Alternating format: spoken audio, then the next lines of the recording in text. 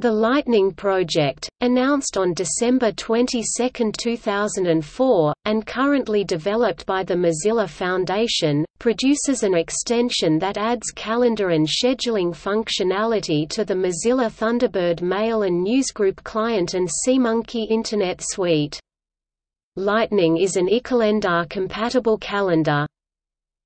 Unlike the discontinued Mozilla Sunbird and Mozilla Calendar extension, Lightning integrates tightly with Thunderbird. Lightning is available in 32-bit and 64-bit versions for Windows, MacOS and Linux, and is installed by default on Thunderbird.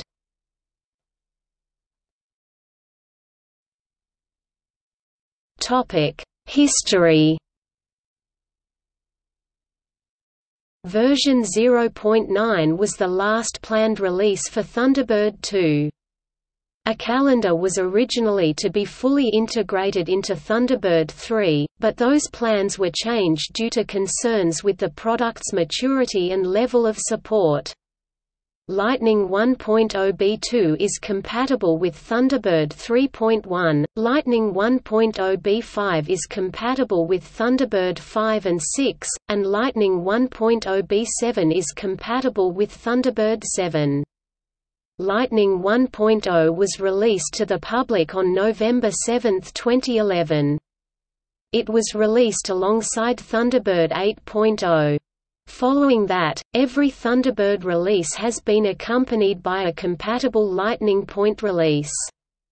Lightning finally started shipping with Thunderbird with version 4.0. As of 21 October 2018, Lightning 5.4 is incompatible with the latest release of Thunderbird 60.2.1.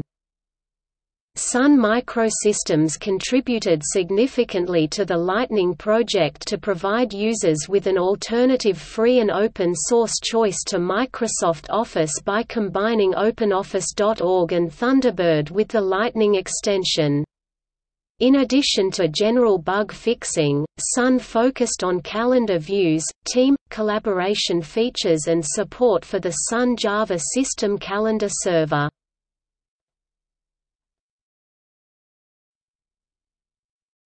Topic. See also List of personal information managers List of applications with iCalendar support